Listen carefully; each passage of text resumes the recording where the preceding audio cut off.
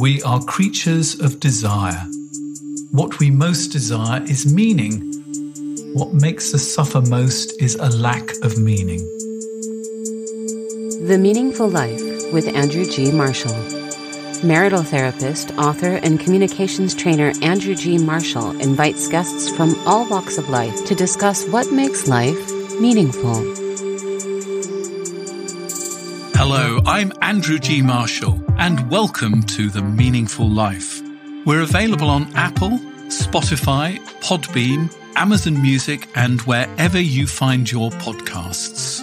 It's the time of year when we face two directions. We look back over what has been and forward to what might be. It is the domain of the ancient Roman god Janus, who's always pictured with two heads, one facing backwards and one forwards. He's traditionally the initiator of human life, transformation from one stage to the next, and the shift between one era and the next. Believing that two heads are often better than one, I've invited the very first guest on this podcast to help me look back at what I have learned in 2022 and what I want to take forward into 2023.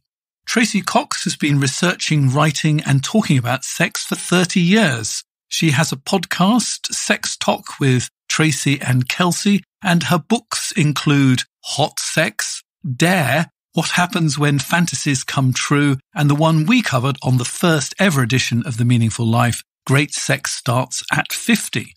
She's also become a fan and a regular listener to The Meaningful Life. And so I've invited her to look back.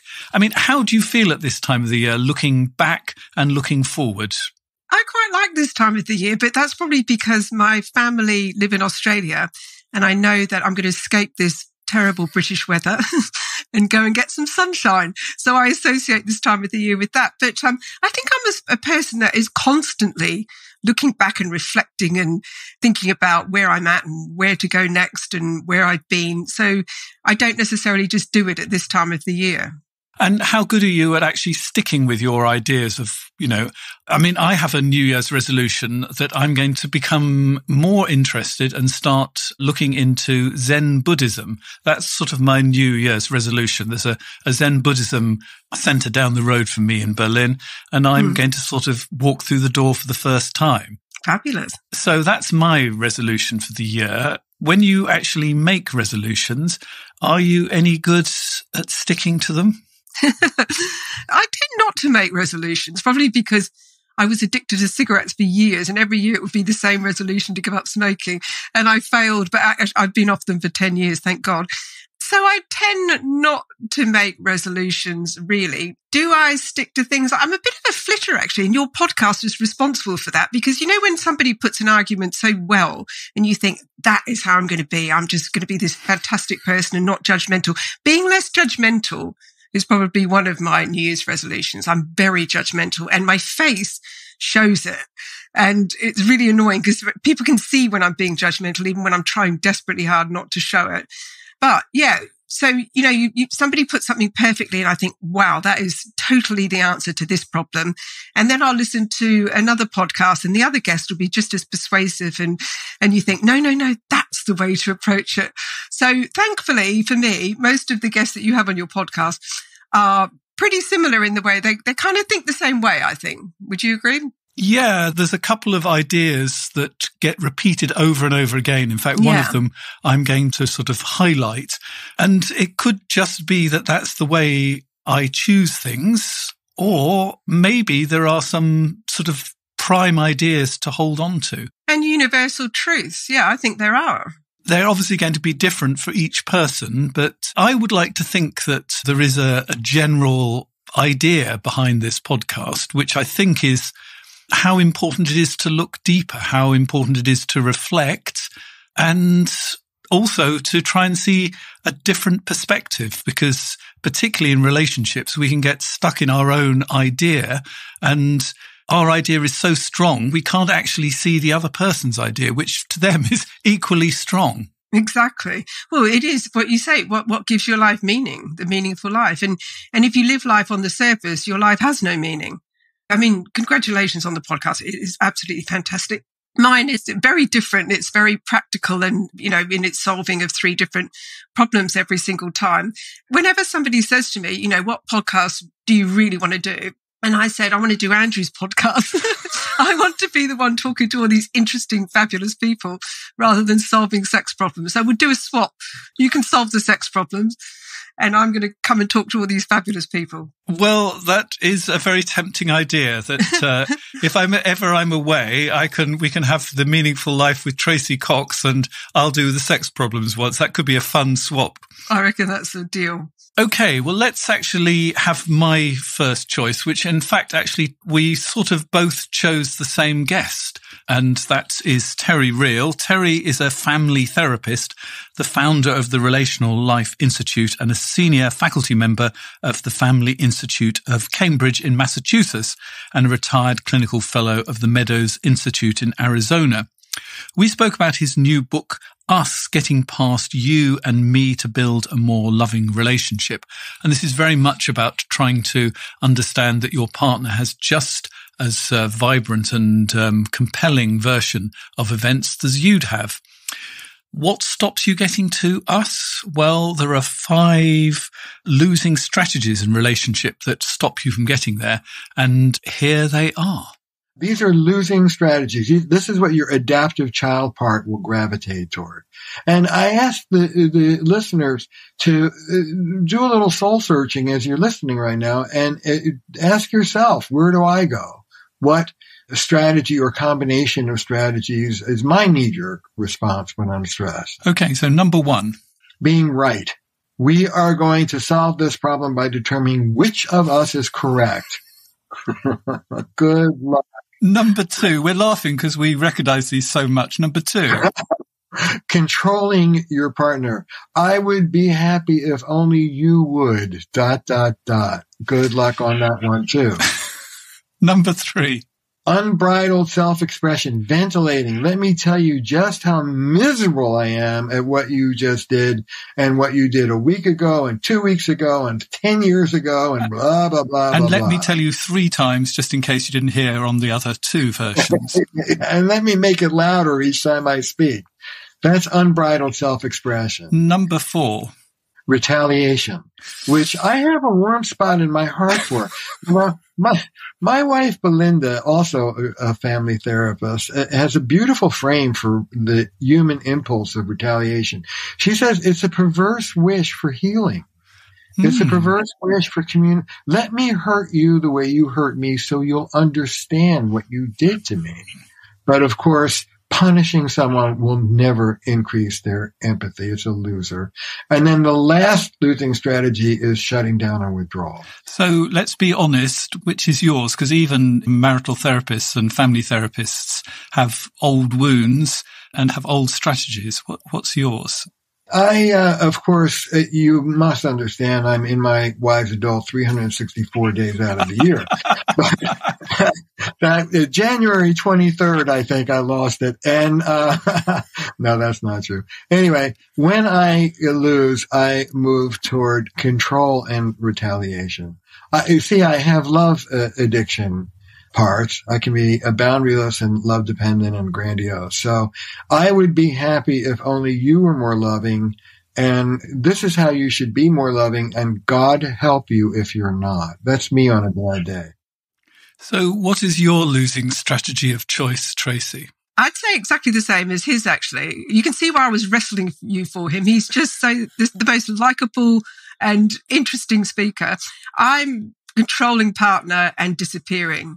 I probably disappear when I'm really angry, which I don't, I'm not convinced that isn't a bad thing, just for a little while, 20 minutes or so. And then the controlling thing is very much my way of doing life, really. And it's interesting that when I was doing my favorites for this, a lot of the stuff that had resonated the most with me was about control. Right. So there you go. Definitely ticking that box. Well, I'm disappearing as well. And I agree with you. There's nothing wrong with disappearing for 20 minutes or so, particularly if you're going to shout and scream at your partner in those 20 minutes. Mm. But I think what he's talking about is actually closing down the topic altogether rather than just taking a break on it. And I think the thing that I've taken away from this and I don't know if my clients are going to be very pleased with this, but whereas beforehand I would sit there quite patiently while people had a game of I'm right and you're wrong, you know, hoping that maybe we might find a compromise through I'm right and you're wrong. I have no patience for it now. I say, hang on, this is a game of I'm right and you're wrong and it's leading mm. us nowhere. So let's stop now. So I've got far less patience with that. I, I hate the I'm right and you're wrong, even though we all do it, let's face it. But it really doesn't get you anywhere at all. Who cares? Who really cares? I mean, I remember in one of my previous relationships going to see a counselor and seriously, it was doomed from the start because all I was worried, all I wanted out of that session was you're right. That's all I wanted. And she didn't say that, funnily enough. And so that was that really. It was like, well, that didn't work to my advantage. So, you know, we won't be going to see her again. So yeah, I think you're dead right in doing that with your patients. Yeah, I've been doing it for 35 years and nobody has ever turned around to their partner and said, do you know, actually, you put that so well. You're right. And I've actually made a big mistake. never. No, because it's never going to happen, is it? Okay, so that was Terry Real. What's the first one you've chosen for us, Tracey? Okay, so my first person was Dr. Frederick Luskin, and it was all about forgiveness. So, Fred is the director of the Stanford University Forgiveness Project and a professor for transpersonal psychology. So, what appealed to you about Fred? Well, I think forgiveness is a very interesting topic. And what I loved about Fred, Frederick Luskin, was because you know, he just challenges everything that we believe about forgiveness, that lots of people think it means letting people get away with what they did or condoning what they did or justifying what they did. But, you know, as he points out, hanging on to hate is a true way to make your life absolutely miserable. So the person who hurt you has actually won. And he got into it because he was miserable because his best friend had betrayed him. And it just sucked the life out of him, he said. And he became more and more and more miserable until I think his wife said, Oh, for God's sake, just go and fix it. You know, just go and sort it out. And he did. And he forgave. And then they became the best of friends again. And he just challenges all of our set views about what it means to forgive. That, you know, forgiveness is about our healing. It's nothing to do with them. And I loved that he talked about how forgiveness isn't about letting them off the hook or that they don't even have to know that you've forgiven them. And he talks about how the problem with not forgiving is that in this, these are his words, not mine. It's such an antagonist. We don't realize how warped our perspective is when we see through anger and self pity and how this influences all our decisions. And I just loved that take on it. And I particularly loved this take where he addresses the point that forgiveness doesn't excuse bad behavior forgiveness, it's a powerful positive strength that human beings can bring to things. And another thing that people say to me who don't want to forgive somebody, and I never try and push somebody to forgive somebody, but um, this is something they say over and over again. It will excuse poor behavior. Why isn't it not excusing poor behavior if you forgive somebody? It doesn't necessarily the behavior, they don't even have to know that you've forgiven or not. So if there's a hit and run driver and they do something that harms somebody, and you know, if you choose to forgive it, you may never see that person again. I found that because I somehow in my head, forgiveness is all about having a meeting with that person and saying it to their face. And it just didn't even occur to me that you could forgive and not ever have anything more to do with them. And I, I just really love that. And he says, you know, forgiveness is if one person has an affair and you say to the other person, your, your spouse, yes, I forgive you for having the affair, but I don't want to continue with this relationship. So you always think if you forgive affair, it means you're going to stay with them. Well, it doesn't. And um, he also, along the, sa- the same vein, talked about whether forgiving means there's no consequences, because that's the other thing about forgiveness. And the other thing that I find that people have against forgiveness is that they think that if they forgive, it means there's been no consequences for the other person, that somehow if they've treated you badly, there has to be consequences. Well, that's the ages old human dilemma of whether or not to take revenge and try to make somebody else suffer because you suffered. And so what you're really looking at is not necessarily forgiveness, but a, a, a person's inner dilemma about how much payback they want to do. The issue with that is you'd probably want more to differentiate forgiveness with justice, which yes. is you can, you can forgive somebody fully and still take them to court. I just love that last line. You can forgive somebody fully, but just still take them to court. I thought that was absolutely fantastic. And his voice, I love a New Yorker. I love a New Yorker. So I could just, that you had me at the voice with that one. It was just, I could listen to him talk all day long. So I just loved the lessons. I, I really did get a lot out of that in terms of forgiveness. It's interesting the difference between being forgiving and actually judging and yes. actually setting yourself up as the judge and, you know, as having the power of the gods decide what is right or wrong. So there's a sort of a philosophical depth to that as well that I think is interesting. Mm. Now, at the beginning, we sort of talked about whether there was sort of running ideas. And I think that one of the ideas was first introduced by Kathleen Smith. Dr. Kathleen Smith is a licensed therapist from Washington and the author of the book Everything Isn't Terrible. Conquer your insecurities, interrupt your anxiety, and finally calm down.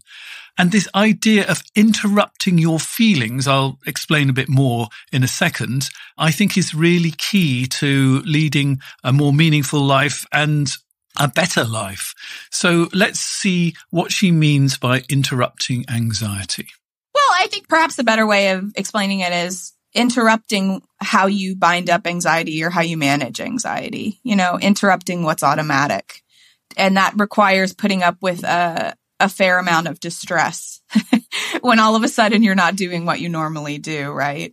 Uh, people want to feel calm. They want to feel confident.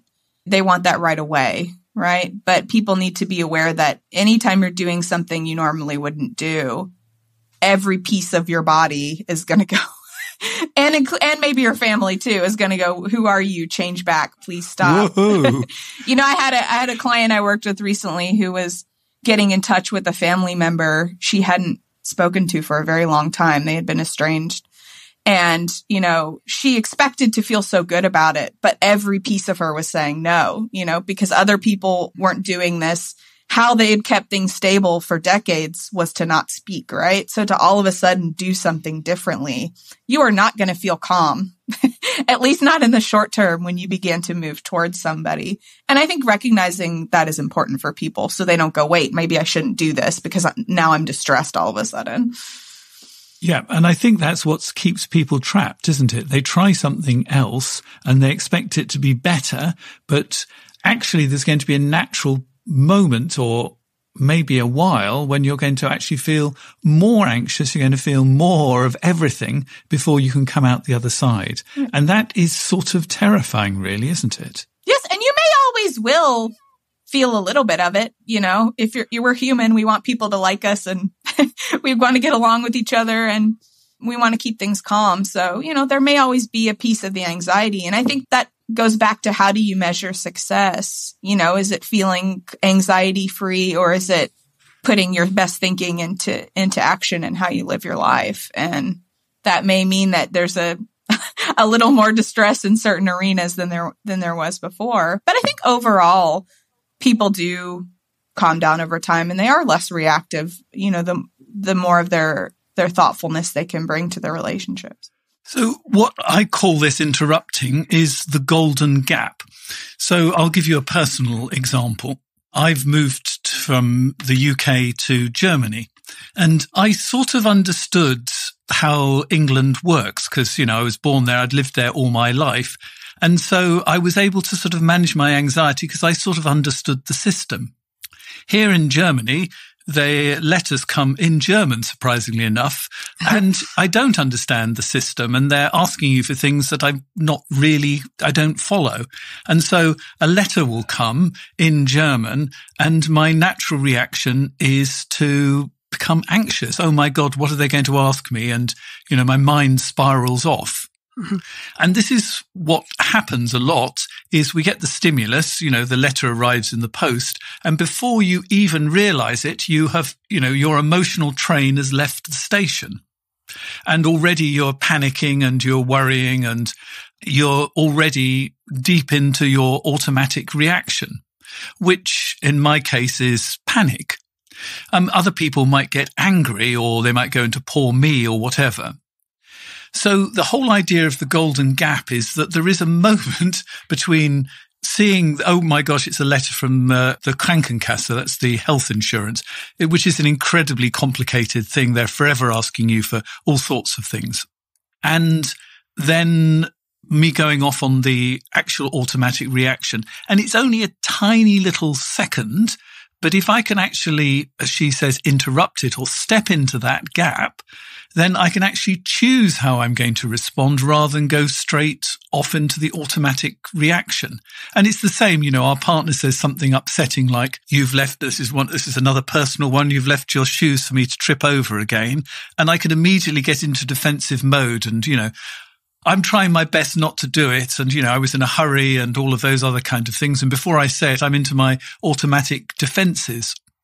And if I can just put in that golden gap, that moment, I can choose what I'm going to do. I can have the fight about the shoes, or I could decide, actually, it's probably not worth it. And I'll just say, I'm sorry. So what do you I'll... do in the gap? What do you do in the gap? What do you say to yourself? Well, first and foremost is you have to accept that there is a golden gap and that you can step into it. And the first one you do is I think you register what your feelings are. So, you know, I'm feeling defensive or I'm feeling angry or I'm feeling misunderstood or whatever it is. So you try and identify the feeling. You try and see, I mean, I'm this one is I'm giving you as a small example, but normally it's a mm. big one. So you've actually got big feelings in your body. Where are they? And that helps you ground yourself a little bit. You know, are they in your chest? Are they in your fingers? Are you got a, are you feeling a pressure across your shoulders? That helps. You take a breath and by now we've probably had two seconds have gone by and that is a lot big enough for you to actually step into it and perhaps do a, you know, a, a really nice deep breath. And generally, I would reflect back at this point and the reason you do this, it gives you a bit of thinking time. Um, so reflecting back in this occasion would be you're upset that I've left my shoes in the hallway. And you'll probably get a reiteration of why it's upsetting. By this point, you've got probably about 20 seconds to actually think what you're going to do. And, you know, it could be that you're going to have the row. That's fine, but you've chosen the row. Or you could decide to step aside from it and say, I'm sorry. And move the shoes. So that's the golden gap. And it's not just anxiety, it's every feeling going. And it's something that quite a lot of my guests actually talk about that we are so used to those automatic reactions, like going back into one of Terry's five failing things, stepping away, you know, ventilating. And that gap allows you to choose. Mm. And that is very powerful. I agree. I think that, that this is a, uh, one of those universal truths that seems to shine through, doesn't it? And what else is something that I've noticed with all the people that you interview is breathing. And I only understood about breathing probably, gosh, five years, 10, no, maybe 10 years ago. And what a difference. I hold my breath all the time without meaning to. And, and especially when you're angry, I really do hold my breath. And if you just take one breath, one deep breath, it is enough for the brain, which is an extraordinary, you know, it's, it's capable of so much thought in, in a nanosecond, isn't it? It is exactly what you said. That little tiny gap is enough to reset and think, do I really want to tell my stepdaughter that she's so and so, so and so, so and so? Maybe not. Maybe I won't say that.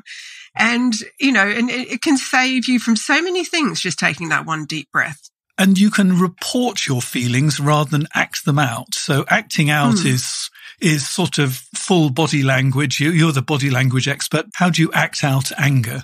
Well, you become big and, you know, your face, my face when I'm angry frightens me. If I go into the bathroom when I'm angry and have a look, I'm like, oh my God, look at you. My eyes become dark. You, we make very big gestures when we're angry. We puff ourselves up and, um, you know, to make ourselves look as, as threatening as possible. And that's not very nice to be on the end of. So, and then of course, the person that you're doing that to adopts the same body language to fight back in a sense. And, and you're off on a big, you know, very unhelpful spiral of, of anger and argument. So, um, yeah, I listened to that podcast and I thought it was very good as well. So you can still have the feelings, but I'd like you to report them. So I'm feeling angry when you, so it's not all the time. So we've got a specific thing that your stepdaughter has done. And then mm. because, because sometimes they think you're upset about the shoes because it's thoughtlessness. Whereas it could be that it's actually they actually did fall over them with a shopping bag and they nearly broke stuff. So you actually know the reason they're angry and it's kept down to a specific time. I'm not angry with you full stop, which is hmm. sometimes mm. how it can be heard. I'm angry with you when you leave your shoes in the hallway. We don't have very much room in a German flat, which is why leaving my shoes is such a problem. I went to Berlin recently, actually. I was just there for a weekend. It was freezing for number one. I loved it. But yeah, my, my um, godson lives there and his flat was very small. I was like, wow, okay. Yeah, they are tiny. The Meaningful Life with Andrew G. Marshall. Please follow us on Twitter, like us on Facebook, and visit our website, andrewgmarshall.com forward slash podcast, where you can join our supporters club and unlock bonus material and other benefits. How can I help you have a better relationship? There's nothing I like better than talking to some of the world's top sex and relationship experts. It helps me learn and grow, and that's why I started this podcast. But what makes my life meaningful is writing and teaching. That's why I've written 20 books on relationships, which have been translated into 20 languages. They fall into two categories. Firstly, improve your relationships. In this category, I'd like to recommend Happy Couple Handbook, Powerful Love Hacks for a Successful Relationship. I cover constructive arguing, be a better listener, use carrots rather than sticks, and how to forgive and move on. In the second category, which is called Rescue Your Relationship, I have books like I Love You, but I'm Not in Love with You, my international bestseller. Can We Start Again? 50 Questions to Fall Back in Love. My Wife Doesn't Love Me Anymore. And My Husband Doesn't Love Me Anymore and He's Texting Someone Else.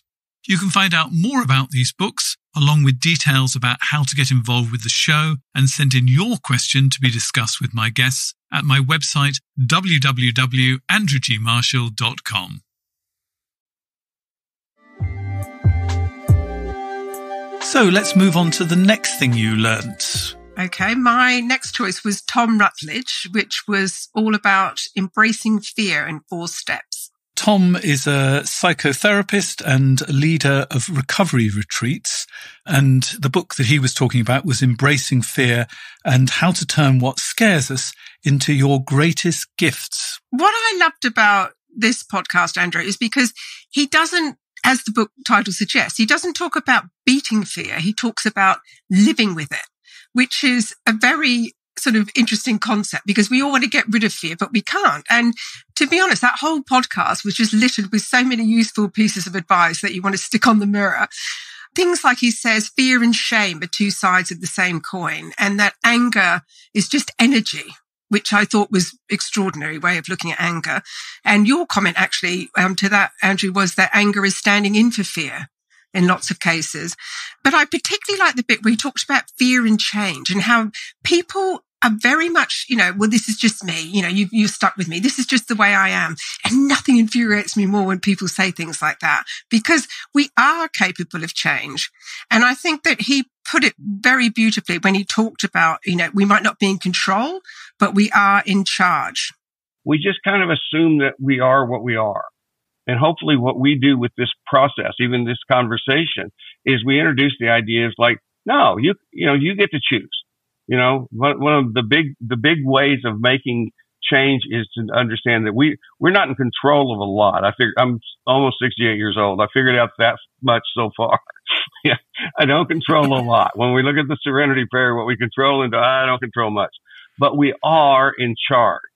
And that's, that's the message that, that, that brings all of the possibility to life here. It's a corny analogy, but I, you know, I don't have anything to do with how the cards are dealt, but I can become a good card player. This is another thing that I think is a, is a theme that runs through is we can't change history. You know, we can't change what's influenced us. It's happened. It's here, but we can change how we react to it. And I think that that is something that gets echoed over and over again. And, and I, I, what else I liked about him was he says he has self hatred. And I quite like it when all these very sorted people come on and say, well, yeah, I'm saying all this and I sound fantastic. But in fact, I still have those little moments, you know, where I hate myself. And this wonderful thing, which actually I should have picked as my second clip, but there was so much to choose from with him. And he makes a comment about our inner bullies. And he says, you know, you might think your sibling or your mother or father knows exactly how to wind you up, but no one is as good as winding you up as you are yourself. And I just loved that. But I chose this other clip instead because he talks about how to deal with your demons. And what he says is the exact opposite to what you instinctively want to do. Always move towards your demons. They take their power from your retreat. Oh, I like that. Please repeat it because I like okay. that. They always move towards your demons. They take their power from your retreat. And one of the things I do to to to demonstrate that is uh, I would, if we were sitting in the same room, I would have you stand in front of me, like put your hands on your hips, just take a position of power. You don't have to say anything. Just want you to be in that spot. Yeah, there you go. And then I'm going to sit down lower than you. And then as you just stand there, you don't move at all. I'm going to cringe farther and farther down. I'm going to become, you know, talk about my voice on this be weaker and weaker and weaker. It's like, and when I'm demonstrating to the audiences there, if I'm there in a workshop, is that you don't change at all at that point. I am giving my power away by running, by, by retreating. And that sort of buys into the whole, you know, stand up for yourself business, isn't it? You know, if you're going to run away the whole of your life, you're probably not going to get very far. So I, I just really, I loved all of his concepts were again very practical and I like a bit of practical and, and things that you could, you know, the opposite, our instinct is to run because of the, you know, fight and flight. Yeah. Fight and flight, which is a very instinctive thing, but you know, it's, it really isn't going to get you anywhere running away. Yes, I think the idea of learning from your fears and actually getting a gift, something I say to my clients, you know, accept the fear and see what it's got to give you. You know, what's it asking from you? What's its message? Because nine times out of 10, fear has got a message for us. Yes, it has. It's trying to protect you, isn't it? So there is, I mean, what did he say about the flip side to everything? And, and, you know, in life, there is always a flip side. Like, yes, I'm a control freak, but that's also helpful professionally if you're a control freak because you're always on top of things. So of course your body doesn't make you create an emotion without some kind of reason behind it. And it's generally protection, isn't it? Not that it's particularly helpful all the time, the emotions that it creates. Yeah, I thought if you if you do suffer from anxiety and fear, I think he's a, a must listen. Absolutely. So let's look at the third of my guests. And this is Dr. Matthew McKay, who's a clinical psychologist, a couples therapist, and a professor of psychology at the Wright Institute. I spoke to him about his book, Love in the Time of Impermanence. And the bit that I've chosen comes from the bonus section. Uh, I suppose this is a, a, moment to suggest that you become supporters of the meaningful life or subscribe directly through Apple or Spotify because the conversation always continues afterwards. And sometimes the pieces that uh, actually often end up being the most powerful are in the bonus material. So he talked about navigation tools. And this is an idea I've beginning to use more and more myself. And here he is talking about navigation tools. Navigation principle is what we do when we come to every moment of choice in our lives. Our lives are, are filled with choice and, and moments of choice. It's not like just the big choice, like, well, you know, what am I going to do for my career or who am I, who am I going to partner with? And, uh, you know, but actually every day our lives are made up of choices and moments in which we make those choices and they end up creating the fabric of our life, of our existence. And moments of choice are, are particularly present or obvious when there's a, an intense emotion when there's a feeling of desire, a strong feeling of desire, or when we are in pain of some kind. Those are often moments of choice where we can act on the desire, on the on the pain, on the emotion, or we could act on love. And so that's what the work is. So I think it helps to understand the whole idea of these navigation principles if I pull out from his book seven of the the most common ones that how people navigate. So the first one is avoiding pain. We often choose the path of avoiding rather than allowing it. And obviously we have to think about what's the impact of forever living trying to avoid pain when we come to a difficult choice. And sometimes these are just actually in the, the moment of that fight about the shoes in the, in the hallway. You know, I want to avoid the pain, so I fight it. Whereas in fact, it might be better to accept the pain and uh, discuss the whole issue of shoes and where we put things. The second one is going for pleasure. And I think uh, a lot of people choose always going for the pleasurable option. And unfortunately, they don't always see that the pleasure sometimes has pain involved in it as well. You know, the night out might be pleasurable, but it also involves possibly pain from, you know, what happens after three o'clock in the, in the morning when, you know, the things you say that you, you wish you hadn't said or how you feel the next morning. But if you're always looking for pleasure as your navigating principle, then you're not going to register the pain so much. Then we have navigating by desire for power or control. I'm smiling, Tracey. Yeah, all of our politicians. Yes. We can navigate for wealth.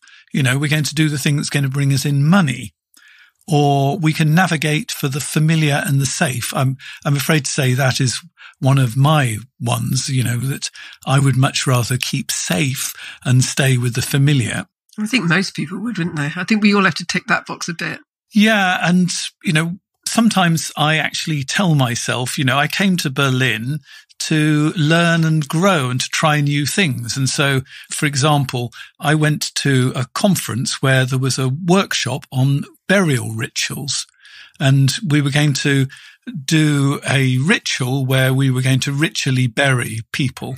And that involves taking their clothes off them, washing the bodies, anointing them with oil, uh, wrapping them in, in a, in a, what you call a, a shroud. That's the Oh, word yeah, I'm yeah. looking for. And then carrying them to the ancestral burial grounds, which in this case was a pile of mattresses. And every instinct in my body said, no, don't do this workshop. And an equal set said, you really need to do this workshop. And in the end, you know, I navigated not through the familiar and the safe, which would have said, don't do the workshop. But, you know, I thought I came to Berlin to try new things. And, you know, you have ritual burial workshops here in the way that, uh, you know, I've never come across a ritual burial workshop before. Um, and it was incredibly powerful. But that was an example of how I've stopped trying to navigate through the familiar and I've gone for growth as my one. The next one is setting a course for ego, what enhances our prestige and our personal value. And then the next one is our emotions. I mean, the first six sound not good, and the last one sounds better. But what's the correct? What's the tick tick? We should all be doing this. Well, I think everybody's got to do something different. I mean, he says we should navigate through love. You know, what would be Right, the okay. loving thing to do? So, you know, the loving thing to do, bearing in mind my partner is really upset about me leaving my shoes in the hall. Actually, if I was navigating through love, I would say, I'm terribly sorry and put my shoes away and actually make a great effort not to leave my shoes lying around. That's what I would do if I was navigating from love.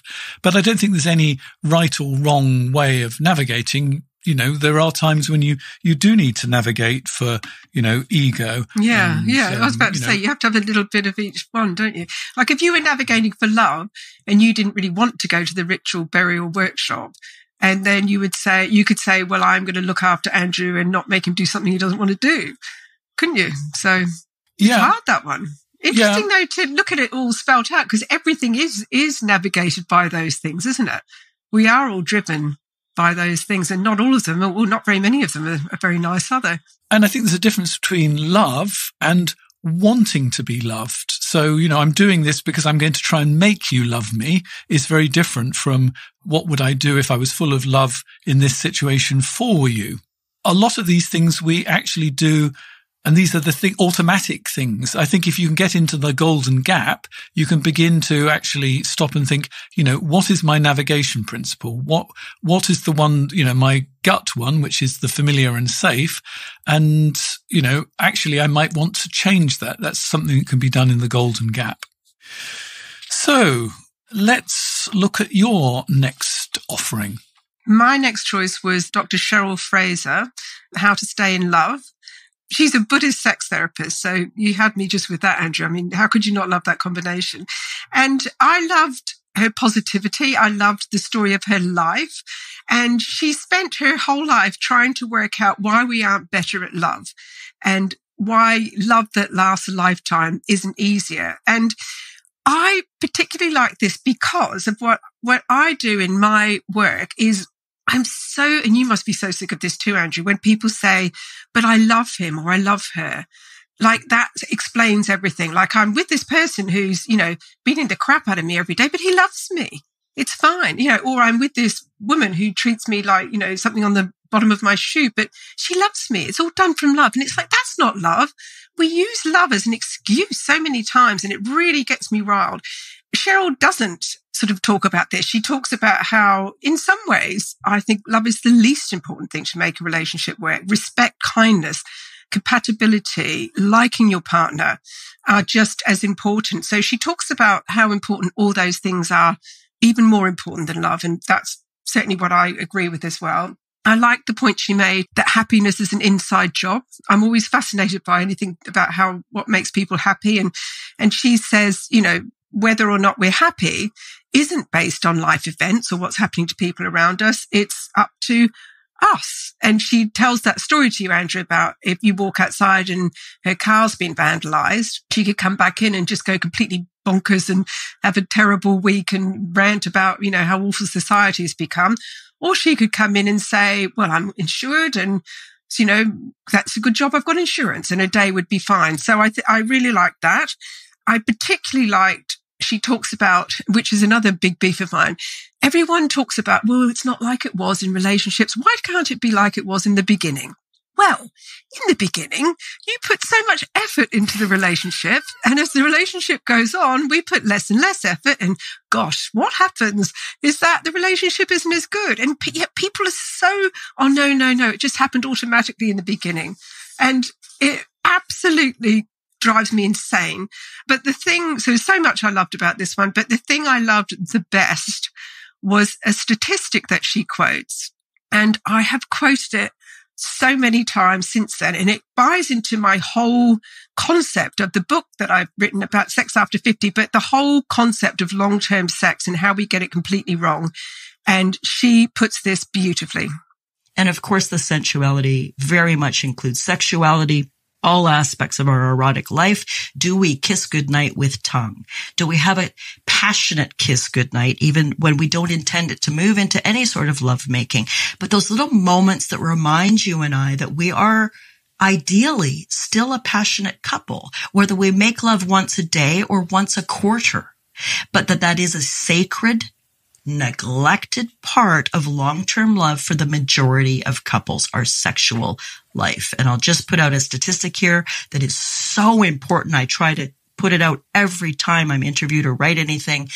The research is pretty clear that around 30%, some studies it's higher, of long-term couples. And now we're defining long-term couples as together more than say two years. We're not just talking about no. people who've been together for decades. 30% or higher of long-term couples are in a sexless relationship, which is clinically defined as you make love six or fewer times a year. In other words, it's highly normal to be not having sex. And of that 30, sometimes 40% who are clinically sexless, they might make love six times a year, but the majority of them don't make love at all with each other. Now, people assume that it is the norm to keep wanting to have hot, passionate sex with your partner. And it really isn't. And I found that extraordinary that actually 30% of people two years on. So, so I found that completely reassuring for couples, like give yourself a pat on the back, even if you are having sex. And the other thing that she explores is this concept of responsive versus spontaneous desire in a relationship, which if everybody could get their head around this, there would be less complaining about sex in a relationship because spontaneous desire happens at the beginning of a relationship. And it's that I, I see you and I want to have sex with you. It's like looking at something and suddenly all the hormones are going wild and you want to have sex. We all love that. That's the model that they put in TVs and movies. And it's the one that everybody thinks is great sex. This is our definition. Why can't I feel like that all the time? What happens in a long-term relationship is responsive desire, which is that you start feeling like sex once you're being stimulated. And she talks about the majority of long-term couples start having sex from a place of sexual neutrality. In other words, most long-term couples, when they start having sex with each other, don't even feel like sex. They start feeling like sex and they have perfectly nice, great, satisfying sex once they keep going because they're good at stimulating each other. And then suddenly they're having great orgasms and they've thoroughly enjoyed the session. But if we can move past this whole thing that we've got to be madly turned on and frothing at the mouth to have sex, to begin the sex session, which is not going to happen once you're past that 18 months bit, and that you have to plan sex and you have to go, right, we're going to, you know, we're going to have sex now, whether we like it or not basically, and then start stimulating each other. And then surprise, surprise, all of a sudden you're really turned on and aroused and you've had great sex. If we could all do this, life would be much better for long-term couples. And this is what um, Cheryl talks about, you know, throughout the podcast, which is something that I feel really strongly about. And she does put it beautifully in here. And I agree with you 100%. And I think that us men are more than 50% to blame because unfortunately in man world, there is a secret decree, which is in fact complete and utter nonsense, which is there has to be an erect penis in the room before you're allowed to have sex. And so that means that men actually don't come over to your side of the bed unless they are 100% certain they're going to deliver an erect penis. And the idea that an erect penis is the only thing that's going to give women pleasure is one of the greatest sources of misery in absolutely going because you've got fingers and tongues. And as you say, once you're in the zone, what I call the sort of sensual kind of place where you're enjoying each other's warmth and the stroking. And it doesn't even really have to be stimulation. It can be very much more diffused than, you know, going straight to the genitals which I think you're going to tell me is a, a bit of a bad idea anyway. Work from the outside inwards, guys. Yes. And the whole erect penis thing. I mean, that's the other myth that seems to, I mean, I've been talking about this for 30 odd years. Women have their orgasms through clitoral stimulation. The clitoris is outside the vagina. Intercourse and thrusting is woefully ineffective at stimulating the clitoris. So it, it's mm, 80% of women do not have their orgasms through intercourse. So the erect penis is really, you could, you could have great sex without an erect penis. You, you could for the rest of your life, you could.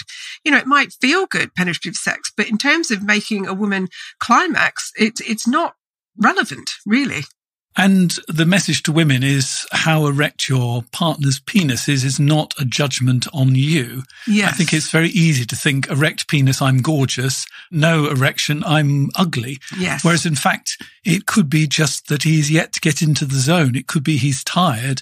It could be that he actually is in a sensual place rather than a sexual place. Mm. And you can have great fun in a sensual place. That's right. And, and the whole, I mean, I feel really sorry for men and I've never understood penis envy because I would hate to have a penis because it's right there on show, isn't it? You know, and and women are just as bad as men in that, like, you're right. It, it's like, well, how, how come you're not standing to attention? Am I too fat? Uh, but, you know, is this, my boob's not big enough? And we go into this big spiral and this whole concept that arousal equals erect penis or, you know, lubricated vagina, they're both completely affected by so many other factors. It's not even funny. I mean, we're humans. We, you know, we're not robots. If you want an erect penis, just buy a sex toy. That will never let you down. Um, we're going to actually continue this conversation about sex because um, the next person that I've chosen is Irene Fehr, who's a sex and intimacy specialist. Unfortunately, that is where we've run out of time for the main podcast, but it could may be that this year is the year you're going to become a, a supporter of the meaningful life. And if you want to hear Trace's two other choices, my two other choices, and a continuation of our discussion about sex in long-term relationships, then you need to find out about the bonus material. You can subscribe directly via Apple or Spotify. We're also available on Amazon Music. And if you want to become a supporter of The Meaningful Life, here are the details. You've been listening to The Meaningful Life with Andrew G. Marshall. You can follow Andrew on Twitter, like him on Facebook, and please leave a review wherever you consume your podcasts. Making, editing, and distributing The Meaningful Life comes with substantial costs, and we'd like to ask for your help. Visit our website, andrewgmarshall.com forward slash podcast, where you can join our supporters club and unlock bonus material for every program, send in a letter to be discussed by Andrew and his guests, and join a community of other people seeking to make their life meaningful. At the gold level, you get even more benefits. Production of The Meaningful Life with Andrew G. Marshall is by Michael Dooney. Social media by Madeleine Healy. Sound engineering and theme tune by Sebastian de la Luz Mendoza. And I'm Susie Colick. Please tell your friends and spread the word. Thank you.